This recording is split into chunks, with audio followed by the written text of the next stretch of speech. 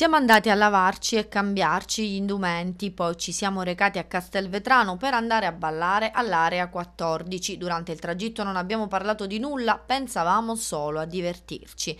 È l'agghiacciante ammissione di Carmelo Bonetta davanti alla Corte d'Assise a Trapani, imputato al processo per l'omicidio di Nicoletta Indelicato, avvenuto nella notte tra il 16 e il 17 marzo scorso.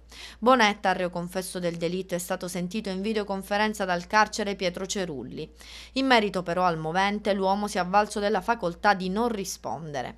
Alla corte ha anche raccontato di essere stato manipolato da Margareta Buffa, anche lei imputata e amica della vittima. Voleva che la coprissi, minacciandomi se non l'avessi fatto. Voleva lasciarmi, io tenevo a lei. Margareta faceva l'escort a pagamento. Non so se tra lei e Nicoletta vi fosse una relazione sentimentale. Anche Nicoletta però per un certo periodo di tempo si prostituiva per avere qualche soldo in tasca. Margareta e Nicoletta, aggiunto, litigavano spesso, non so il motivo, però erano cose da donne e io non mi mettevo in mezzo. Dopo l'omicidio, Margareta Buffa, secondo la tesi di Carmelo Bonetta, si è impossessata di alcuni effetti personali della vittima, in particolare di un braccialetto e del suo telefonino cellulare.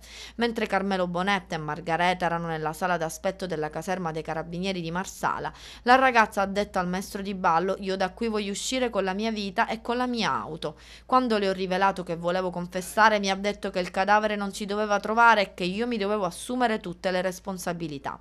Alla fine mi sono preso appunto le mie responsabilità, lei invece no. Prima di raggiungere a Castelvetrano il noto locale Area 14, subito dopo il delitto, Bonetta e Buffa si sono fermati sul ponte Mazzaro per sbarazzarsi del coltello utilizzato per uccidere Nicoletta. Dall'auto, ha raccontato sempre Bonetta, sono sceso solo io, ho gettato l'arma nel fiume. Poi un'altra sosta, questa volta nei pressi di uno stabile tra Mazzara del Valle e Campobello di Mazzara, per disfarsi dei vestiti sporchi di sangue che erano stati sistemati dentro ad un sacco. Bonetta ha raccontato, dall'auto siamo scesi tutti tutti e due. Margareta ha messo il sacco accanto ad un palo della luce e gli ha dato fuoco, utilizzando il liquido infiammabile che era dentro la stessa bottiglia adoperata per bruciare il corpo di Nicoletta. Siamo subito risaliti in macchina e siamo andati via. Raggiunta la discoteca, sono rimasti lì a ballare fino alle 4.30 del mattino, prima di rincasare la colazione in un bar di Strasatti. Poi siamo andati a dormire. Il giorno dopo, alle 7.30, sono uscito per andare a lavorare. Margareta l'ho sentita solo nel tardo pomeriggio. Mi ha chiesto di coprirla in certi orari, cioè dalla sera fino alla mattina.